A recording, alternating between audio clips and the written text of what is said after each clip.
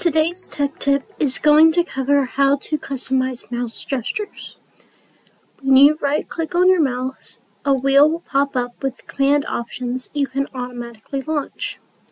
This is a customizable feature that allows the user to choose what commands they use often and provides a shortcut to increase efficiency.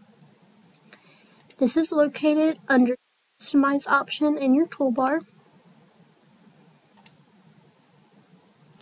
When going into the options, there is a tab specifically to change what commands you want to add or remove to your mouse wheel.